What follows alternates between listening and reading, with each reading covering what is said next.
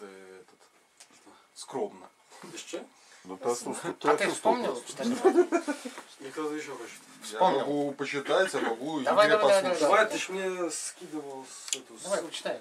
Давай, давай. Не, я почитаю старого. Может, старого, нового, читай. Нового не подходит по атмосфере. По атмосфере проход- подходит из старого. У меня была только одна книжка. Их было много, но была только одна. Она называлась «Книга Завод». Предыстория такая. Я работал по распределению на заводе Могилевки волокно в Могилеве. И по итогу всей работы я написал книгу стихов под названием «Завод». И она посвящена всему этому двухгодичной работе. Вот. Э, Это не сборник стихов. Это именно как Разборник. разборник, да, стихов. Ну, я какие-то вещи прочитаю отсюда. Ну, есть короткие, вот типа такой вот, такой вот. Ну, Там картинки еще были книжки, ну, мы их не посмотрим. Мама, крама, гроб да яма. Или вот такое. Диалог в магазине. Это вообще очень белорусское стихотворение, и поймут те, кто знают Мама крава грубо яма, это уже был стих? Да. Мне кажется, второй. Ну, все. Длинный. коротко и ясно. Отлично. Диалог в магазине. А водка у вас какая? Климовическая. Абсолютно белорусский состояние, что климовическая водка это как бы это был период такой прям самой херовой водки просто. Цицка как цицка, всосать с молоком, родиться в семье продавщицы второго разряда. Продавщица покатает на санках, токарь покатает на санках, в школе выучат и возить санки, стройки на тройку, можно пойти на стройку, можно возле района пойти на завод, получать миллион, и каждый день божий стройки на тройку и в койку, пить водку, крутить гайку, по выходным баню, ебать маню, Маня покатает коляску, выдадут каску до износа, кровь из носа, талоны на молоко, коко, ко-ко-ко, выйти на пенсию в 65 лет. Маня в 60 лет. Вот такой сюжет.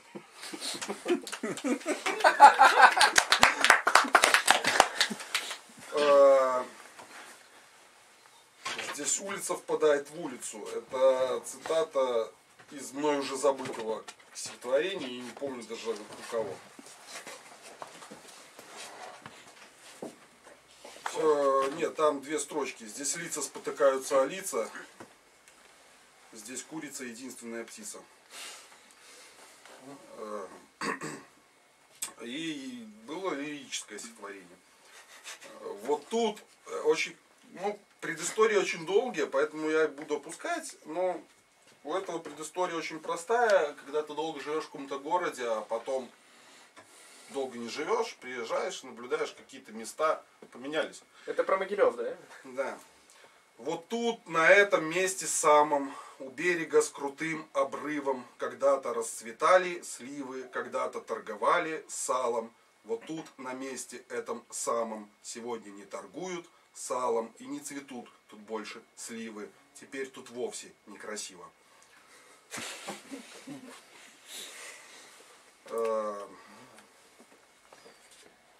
Ну, вот или такое. Завод зовет.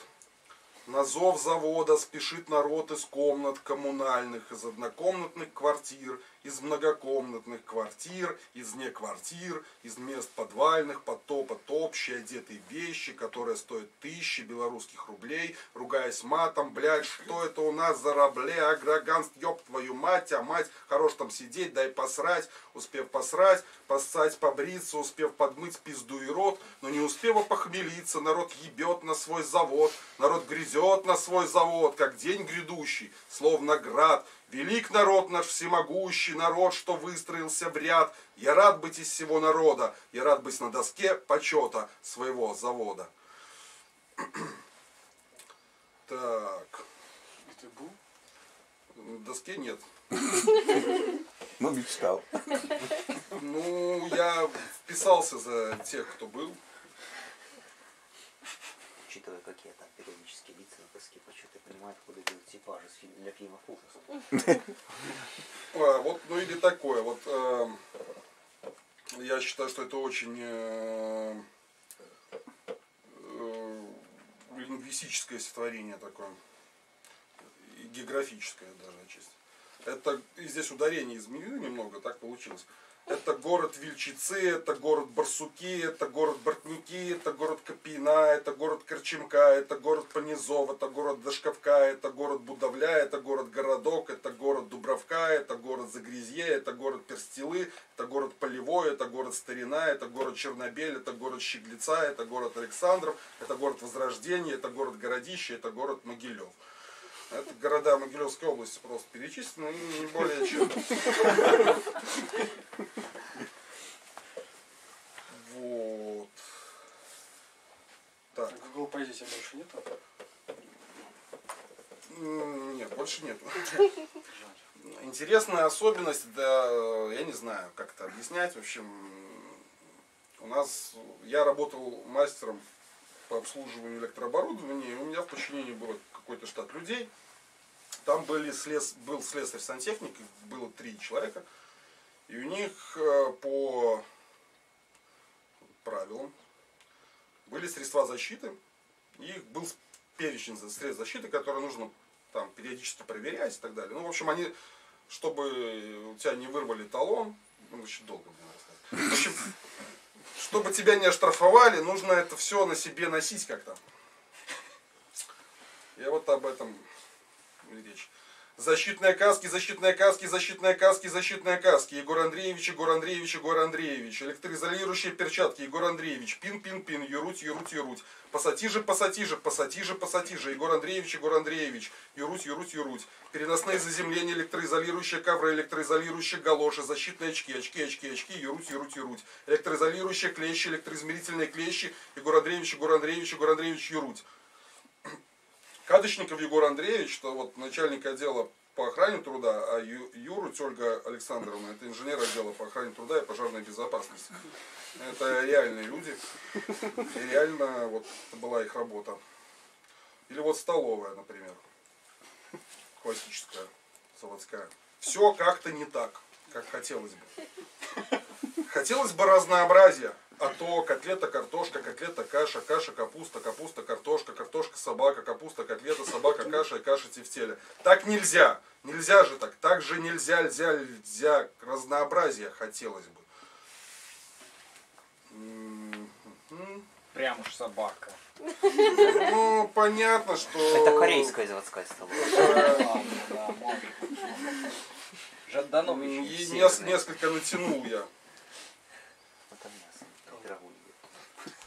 Вот, ну и, наверное, еще одно и хватит. Вот. Ну, оно такое сейчас был период, в общем, почему-то на это стихотворение очень много сделали музыки. Ну, Песен, в общем. Э, Называется «Конец завода», и, собственно, оно было, как бы, оно не последнее в, в этой книге, но оно было, как бы, ключевым. Сейчас его нужно правильно прочитать. Иду домой, иду с завода, иду с завода, иду домой, иду домой, иду с заводка, иду с завода, иду домой, иду с заводка, иду с завода, иду с заводка, иду со мной, иду с завода, иду с заводка, иду с завода, иду домой, конец завода, иду с завода, иду с завода, иду с заводка, иду домой. Часть 2. Конец завода, устал зараза, иду зараза, иду домой, устал за раз, я конец завода, иду заводкой, потом домой, иду завода, тут заводка, я заводкой, потом домой, иду заводкой, иду завода, иду завода, иду завода, иду домой, или иду заводкой, иду с заводкой, тут домой. Часть 3. Настало лето, второе лето, иду завода, иду домой, иду заводкой, опять заводка, иду завода, иду домой, настало лето, конец завода, иду заводкой, потом домой. Часть 4. Последняя часть. Был завод, был завод. Вставал в 6.50. Лето-лето теперь. Встаю в 10, или в 9, или в 12, или в 13, или в 11, или в 10.45, или в 9.22, или в 12.37, или в 13.46, или в 11.17, или вовсе ночь не сплю. Ну вот, Здорово.